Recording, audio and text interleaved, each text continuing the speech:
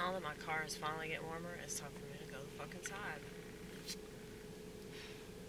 So I told myself that I would stop swearing, right? I work at a restaurant. And I don't want to just use that as an excuse, but I would say it's a reason to not stop swearing. Um, I just hear so many swear words. Whether it's that or it's doing stand up. Maybe I should go to the clean mics. There is actually one clean mic, and I think it would be good for me to go to that mic. Man, I have really lived in the South for too long. it's, it's definitely rubbing off on me. But, um, yeah, so, think it's on uh, Thursdays.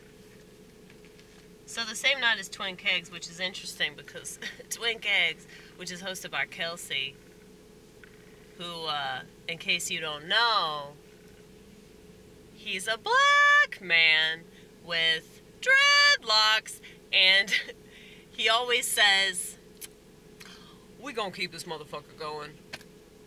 So just to let you know, th- that's like the interlude between comics. All right, so you get to hear the word motherfucker like at least 30 times in one evening.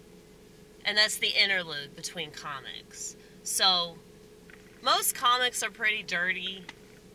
You know, that used to be a separate sect. Like another genre of comedy was dirty comedy. You know? Like George Carlin was thought of as a dirty comic, but he said so much, so it was like, okay, he swears. But it's like if you talk about a woman's pussy, you know, if just saying the word pussy, that that's that's pretty derogatory in a lot of different ways. But yeah, I've always talked about people like that. Um, not just people that I don't like or people that I have some sort of bias towards. So, um,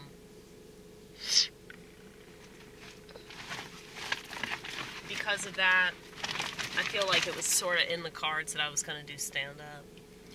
And when I turned 30 years old, I just, you know, accepted the, the whole like dying alone thing. And, you know, as a woman, it's like, yeah, if you're not married with kids by that time, or like at, the very least married, at the very least like in a committed relationship, it's like, yeah, you're probably not going to have the normal people shit and that's okay. Um, like I made that decision a long time ago, but I kind of retracted a little bit because I was trying to see if like maybe I can make something work out with a real person. But uh, that's so funny saying that, but it's true. Um, and I was thinking about how like you know we all have that fan fantasy part of our minds. I think that schizos are just more aware of it, just like we're more aware of a lot of aspects of human existence that the rest of society just seems to discard or disregard because they don't want to think about it. They don't want to get depressed. They don't want to get sad. They don't want to like be filled with gloom and doom.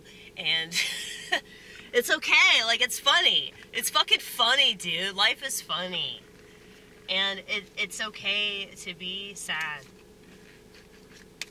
It's okay to be anything. It's okay to be any negative emotion. You know, just don't do destructive things to yourself or to others.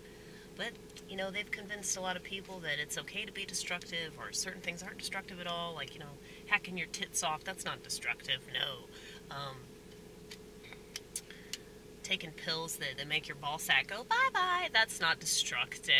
You know, making your emotions go bye bye. Making your uh, awareness go bye bye. That's not not anything at all, you know? It's, it's whatever, man.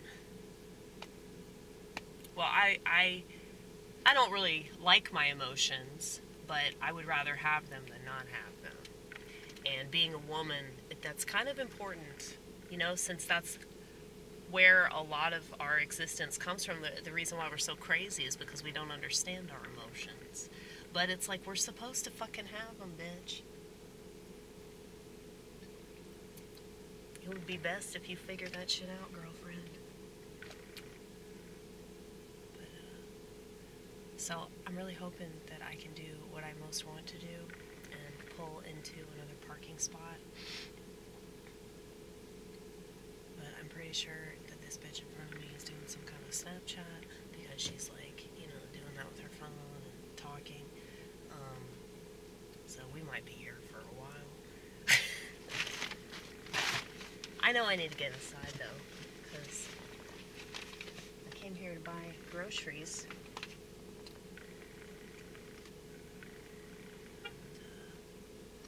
It's six thirty-one, so.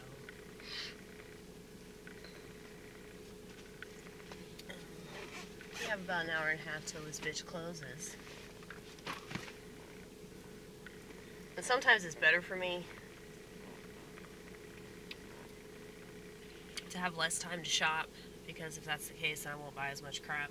But like, I mean, I really don't need that much.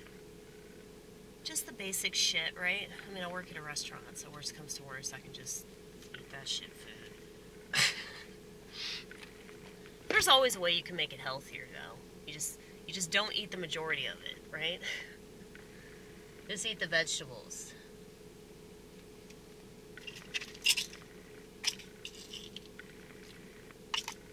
Sorry, I need another one. But yeah. I'm waiting for this bitch to get on out of here, but she's talking to her phone. I was gonna I was gonna zoom in, but I know that she'll she'll see me do it. So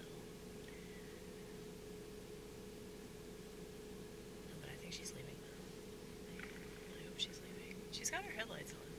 You think if somebody had their headlights on, they'd be leaving, right? Well, don't you have your headlights on? I mean, you're not leaving. you're just fucking sitting here, bitch. Wait, I'll maybe just go- I need my coat. I need to put on some kind of perfume so I don't stink. See, I'm mindful of that shit. Mainly because I know a lot of people that aren't mindful of how they smell. And so, I also have a cat, as you could probably assume if you haven't already seen those videos, with Paisley. He's probably tearing up the house as we speak. But, uh, yeah, so.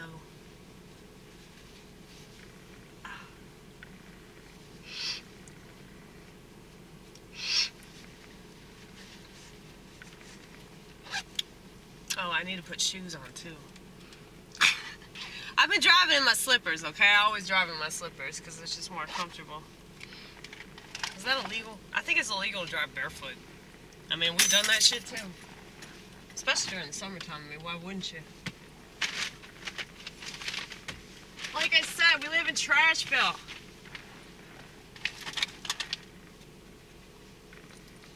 But, yeah, there's this guy that's like, I guess he's got a shoe fetish or something. But he, he really likes the fact that I have, like, two pairs of Chucks. Like, I always wear a mismatched pair of Chuck Taylors. But yeah, these are really cool. I actually got these at Goodwill. I think I got both these at Goodwill. Don't spend sixty dollars on a pair of shoes that you can get at Goodwill for like four fifty. Fuck that shit. So, yeah, these are like furry. They're not. They just kind of have the appearance of being furry. They're not furry all the way around. They're still like the same weak ass uh, fabric, whatever this is. Um, yeah. I really like this though. I think it's cool.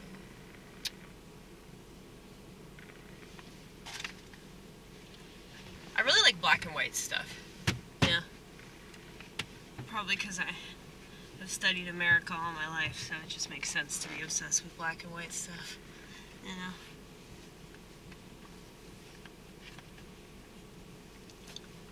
But, uh, I guess I won't get to live my dream of, of pulling into a parking spot the way that I want to do it. It's okay. Because I've, I've already lived my dream before. I don't have to live it every day. It wouldn't be a dream if I lived it every day, right?